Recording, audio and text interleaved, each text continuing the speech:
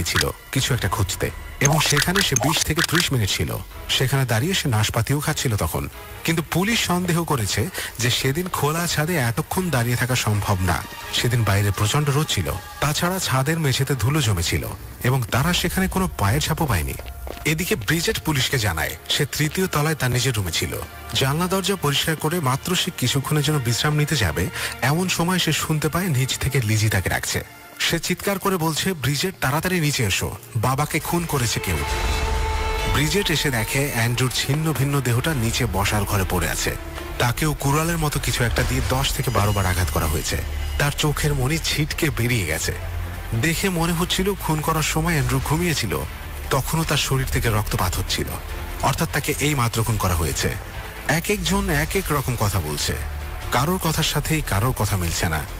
একই মানুষ একই ঘটনা বারবার ঘুরিয়ে পেঁচিয়ে বলছে। এই সমস্ত কিছু দেখে পুলিশ সদস্যরা বিভ্রান্ত হয়ে যায়। কোনো শক্ত প্রমাণ তারা পাচ্ছিল না। পুলিশের সাথে সব প্রশ্নোত্তরের সময় লিজি খুব অদ্ভুত এবং উল্টাপাল্টা কথা বলে। প্রথমে সে বলে, সে বাড়ির বাইরে ছিল এবং ঢোকার সময় সে গোঙানোর শব্দ শোনে। এর দুই ঘণ্টা পর আবারও তাকে জিজ্ঞাসা করা হলে সে তার স্টেটমেন্ট বদলায় এবং বলে, সে বাড়িতে ঢোকার সময় কোনো শব্দই শুনতে পায়নি এবং বাড়িতে ঢোকার পর সে অস্বাভাবিক কিছুই দেখেনি। যখন তাকে জিজ্ঞেস করা হলো, তার সৎ মা তখন কোথায় ছিল, সে বলে, অ্যাবি তার এক অসুস্থ বন্ধুকে দেখতে গিয়েছিল। আবারও সে বলে, সে বাড়ির ভিতরে ঢুকে ব্রিজেটকে বলে, অ্যাবি বাড়িতে আছে কিনা সেটা দেখবে তখন লিজির এক প্রতিবেশী মিসেস চার্চিল আসে এবং চার্চিল আর ব্রিজেট সিঁড়ি দিয়ে উপরের দিকে যাওয়ার সময় তাদের চোখ মেঝেতে পড়ে এবং তারা অ্যাবির লাশ দেখতে পায়। পুলিশের যে সদস্যরা লিজিকে প্রশ্নোত্তর করছিল, তারা জানায়, লিজির কথায় তাদের প্রবল সন্দেহ আছে। তারা লিজির কথার কোনো কিছুই বুঝতে পারে না, কারণ লিজি বারবার তার কথা বদলাচ্ছিল। তারা এও বলে, লিজির কথা বলার ধরনও তাদের কাছে সুবিধাজনক মনে হয়নি। তার মধ্যে কোনো চিন্তাই ছিল না। সে খুব স্বাভাবিকভাবেই পুলিশের সাথে কথা বলছিল। এতেই তাদের সন্দেহ বেড়ে যায়, কারণ যার বাবা এবং সৎ মাকে খুন করা হয়েছে, সে এতটা স্বাভাবিকভাবে কীভাবে কথা বলতে পারে? পুলিশ তার রুমে তল্লাশি চালায়। কিন্তু তারা একেবারে খুঁটিয়ে নাটিয়ে দেখেন, কারণ লিজি তাতে অস্বস্তি প্রকাশ করছিল। যেহেতু লিজির বিরুদ্ধে কোনো প্রমাণ তাদের হাতে ছিল না, তাই তারা জোরও করতে পারছিল না। কিন্তু পরবর্তীতে পুলিশ বুঝতে পারে, এটা হয়তো তাদের ভুল ছিল। অনুসন্ধানের এক পর্যায়ে বাড়ির বেসমেন্টে পুলিশ দুটো কুড়াল খুঁজে পায়, এবং এই জাতীয় আরও দুটি অস্ত্র খুঁজে পায় তারা। তার মধ্যে একটা কুড়ালের হাতল ভাঙা, এবং পুলিশ সন্দেহ করেছিল, এটি দিয়েই খুন করা হয়েছে। কারণ সেখানে আর বাকি কুড়ালগুলোতে ধুলো জমেছিল। বোঝা যাচ্ছিল সেগুলো অনেকদিন ধরেই সেখানে পড়েছিল। শুধুমাত্র সেই ভাঙা কুড়ালটাই একমাত্র পরিষ্কার ছিল। যাই হোক, সেখান থেকে পুলিশ কোনো শক্ত প্রমাণ সংগ্রহ করতে পারেনি। লিজি আর ইমার বন্ধু এলিস এর মধ্যে তাদের বাড়িতে থাকার জন্য আসে। লিজির মামাও সে বাড়িতে ছিল। প্রথমে লিজির মামা অন্য একটা রুমে ঘুমানোর কথা বলে, কিন্তু পরে সে যে রুমে খুন হয়েছিল, তার পাশের রুমে গিয়ে ঘুমায়। পুলিশ সেই বাড়ির দিকে নজর রাখছিল। মাঝরাতে পুলিশ দেখতে পায়, লিজি বাড়ির বেসমেন্টে আসে এবং একটা বালতিতে করে কিছু কাপড় সেখানে রেখে দেয়। এর পরের রাতেই মর্স বাড়ি ছেড়ে পালিয়ে যায়।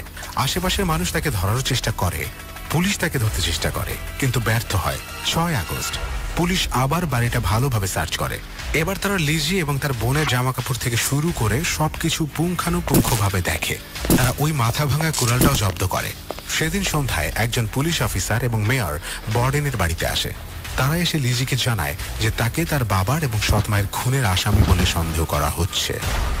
পরদিন সকালে লিজির বন্ধু এলিস রান্নাঘরে ঢুকে দেখে লিজি একটা কাপড় ছিঁড়ে কুটিকুটি করছে। এলিস তাকে জিজ্ঞেস করলে সে বলে যে কাপড়টিতে পেন্টিং লেগে গিয়েছিল। এতে এলিসের মনে খটকা লাগে। খুব সম্ভবত এই কাপড়টি হত্যার দিনে লেজির পরনে ছিল। আগস্টের আট তারিখে লিজি শুনানির জন্য হাজির হয়। সে তার পারিবারিক আইনজীবীকে কোর্টে উপস্থিত রাখার অনুরোধ জানায়, কিন্তু তার এই অনুরোধ কোর্ট প্রত্যাখ্যান করেন, কারণ এই কেসটিতে তারা গোপনীয়তা রাখতে চায়। লিজিকে তার স্নায়ু শান্ত রাখার জন্য প্রতিদিন মরফিনের ডোজ দেওয়া হতো, যাতে আদালতে তার সাক্ষ্য প্রমাণের সময় সেটা কাজে লাগে। কারণ লিজি কোর্টে প্রায় অনিয়ন্ত্রিত আচরণ করত এবং মাঝে মাঝে কোনো প্রশ্নের উত্তরই দিতে চাইতো না সে। এমনকি এমন কোনো প্রশ্ন যার উত্তর দিলে তারই ভালো হবে, তার উত্তর সে দিত না। সে প্রায় উল্টোপাল্টা কথা বলতো। যেমন কখনো বলতো, তার বাবা যখন বাড়ি ফেরে, তখন সে রান্নাঘরে বসে ম্যাগাজিন পড়ছিল। আবার বলতো, সে তখন ডাইনিং রুমে কাপড় স্ত্রী করছিল।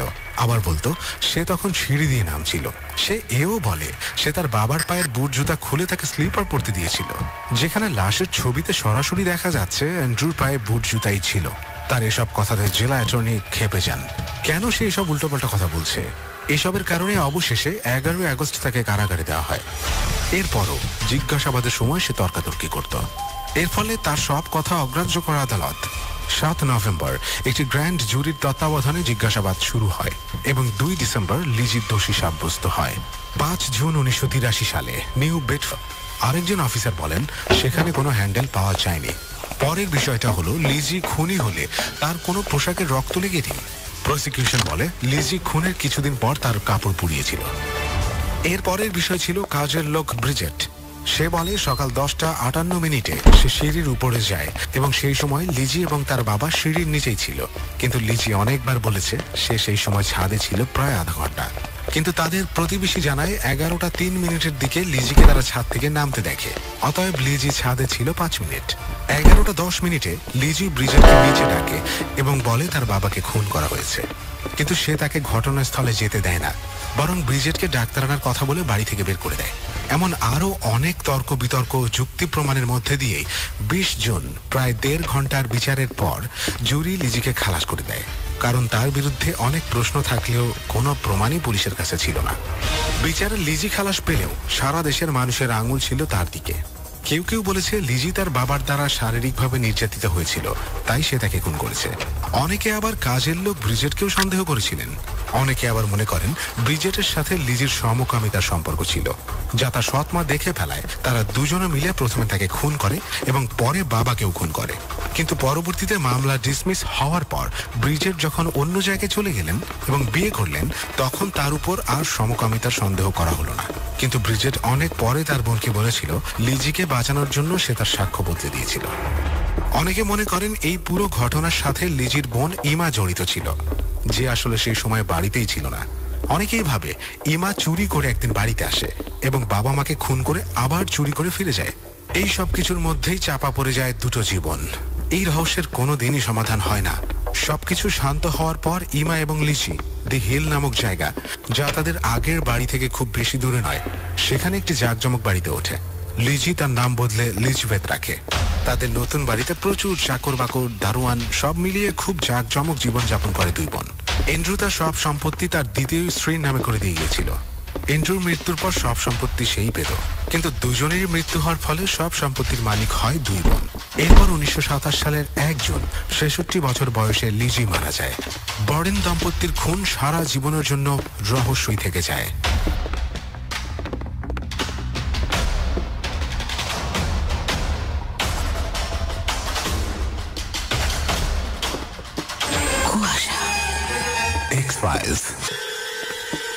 কুয়াশা।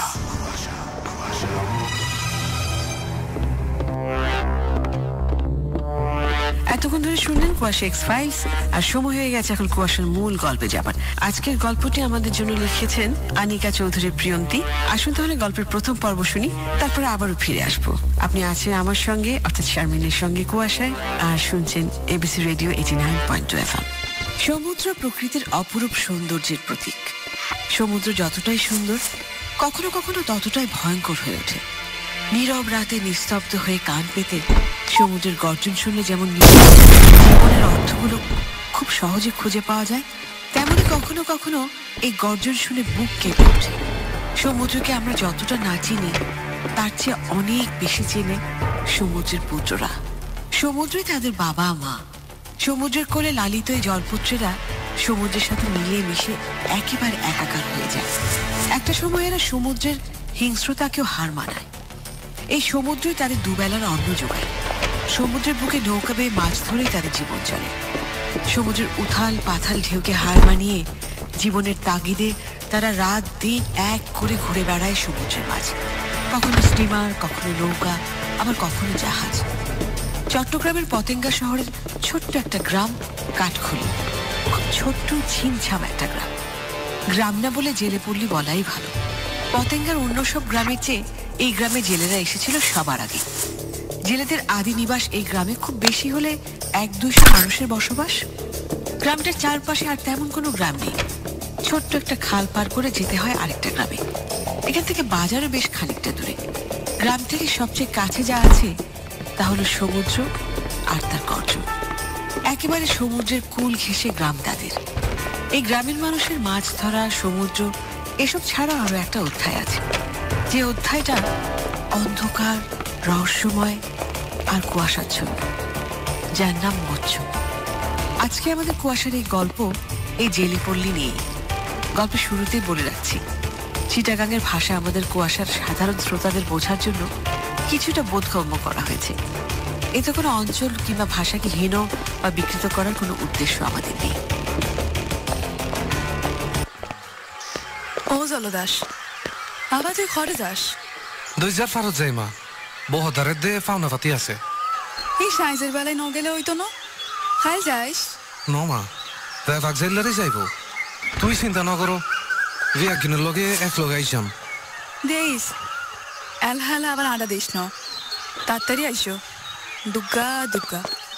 মা হিতেই সাজের বেললে ন গেলেও ফাইতো হিতের যাওয়ানোর কি দরকার আছিল? ঘরত তো টিয়া আছেই। কাল গেলে চলতো না? আমি তো মানা করলাম ওর বাপ মরার পরে ফোয়াডারে লই বাঁচি থাকি ওর কিছু হইলে খিলেই থাকিব। তুই ওরে কইতে পারলি না? আর কথা কি আর মনত ধরে বিয়াক গুনেই বলে গিয়ে তা করে তোমার ফুয়ার বউডারে তো দিলাম না? ভিতরে ইকিনি দেখিয়া যায়। মা বউরে তো ফোয়াতি হিতারে গড়তন বাইরেতে মানা করছিলাম ভালোই করছ মৎসব যদি পোয়াতির গন্ধ পায় তাইলে সর্বনাশ। এই ছোটকালের তো এই মৎসবের পিস দিয়ে লাগিয়ে আসছি। আর বাফও ইয়াল্লাই মরি গইয়ে গো। ইয়ান গ্যারামডার কত মানুষ যে মৎসবের পেট গইয়ে। ইয়ানোর একগান বিয়ে তাই করুমি। আয় থাকতে তোর কোনো ভয় নাই। যাও বোর্ডারে নিয়ে আসছো জিনুক এক্ষিনি আয় তো। নমস্কার। গম আছে নেই ভালাই আছে মাইয়া চাও না ফুয়া ভগবান জিয়ান দেয় ভগবান তোমার মনের ইচ্ছা পূরণ করুক শোনো কিছুদিন স্বামীর লগে ন হইতো তোমার শাউরির লই হুদবা এই তাবিজ গান হাতে বান্ধিল মা গঙ্গার উপর ভরসা রাখ আজ যাইছি গেলাম রে শ্রীমতী কিছু হইলে আরে খবর দিও মৎস্য যাকে একবার চোখে দেখলেও মানুষ স্বাভাবিক থাকে না। কাঠখুলি বহু বছর ধরে এই মৎস্যপের জন্য অভিশপ্ত। তাই হয়তো অন্যান্য জেলেপাড়ার অন্যান্য জেলেরা কখনো এর আশেপাশে পৃথিবী থেকে একেবারে আলাদা কোনো একটা বৃত্তের মাঝে আবৃত্ত এই কাঠখুলি গ্রাম। এই বৃত্তটাকে ঘিরে রেখেছে মৎস্য। এই মৎস্য আসলে কি তা কেউ জানে না। এই জেলেপল্লির সবচেয়ে প্রাচীন গ্রাম এটি মানুষ শত শত বছর ধরে শুধু মৎস্যপের নামই শুনে এসেছে। কেউ জানে না কোথা থেকে এসেছে সে, কেন এসেছে, আর কি বাঁচায় যারা জানতো, তারাও কয়েকশত বছর আগে পৃথিবী ছেড়ে চলে গেছে। এখন যতটুকু আছে, ততটুকুই লোকমুখে শোনা কথা। সেটাও কেউ জোর দিয়ে বলতে পারে না। যারা বৃদ্ধ, তারা ভাষা ভাষা করে বলে, এখানে গ্রাম হওয়ার আগে শ্মশান ছিল। আবার কেউ বলে, এখানে কোনো অঘুরি আস্তানা ছিল। কেউ কেউ এও বলে যে, এই সমুদ্রের ওপারে কোথাও কোনো অশুভ জায়গা থেকে এসেছে এই মৎস্য। তবে কেউই ঠিক করে বলতে পারে না ঘটনা। কঙ্গনার বাবা শিবের ঘোর তপস্যা করেছিলেন। সেও পারেনি এই গ্রামের উপর থেকে মৎস্যপের কালো ছায়া সরাতে। এই কারণেই তার মৃত্যু হয়েছিল। সেও অনেক দিন আগের কথা। শেষ পর্যন্ত কঙ্গনা তার বাবার জায়গা নিয়েছে। কঙ্গনা না থাকলে এই গ্রাম হয়তো একদিন ধুলোয় মিশে যেত। তার ভরসায় মানুষ এখনও এখানে থাকার সাহস করতে পারে। এই গ্রামে অন্তঃসত্ত্বা মহিলা নতুন বিবাহিত দম্পতি ছোট বাচ্চা এদের নিয়ে মানুষ সব সময় আতঙ্কে থাকে। এসবের গন্ধ পেলেই নাকি মৎস্যপের মাথা ঠিক থাকে না। বউ? বউ? তাবিজটা বান্ধি লইছো? হ মা। মা আই ঘরে আল্লাহ হতি পড়ি তুই তোমার ফুয়ারিবা যাও। হিতে আল্লাহ আছে।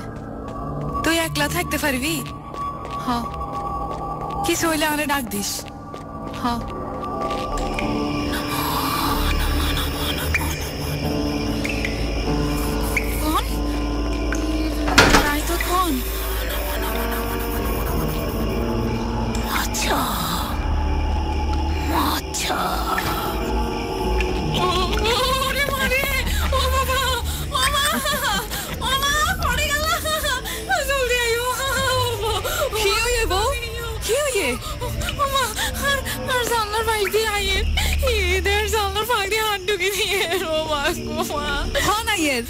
কিছু বুঝিত ন পারির হোসা হরি গ। ওই ও মস্ত ইয়ান কি তোর তাবিজ খডে না তো দি আছে তুই আন লগে চল। মায়ের ফাদোয়া জল দি গা ধুই দেওয়ান করিব হাই রে ভগবান ইয়ার আর কোয়ালত কোন শনি লাইলো? চল আন লগে। বদ্দি ও বদ্দি আর মালতী? শুনিলাম কাল নাই আইয়ের তুই কি দেখছিস ন মুখ দেই ন হাত দেইছি। কেন? বুঝিত না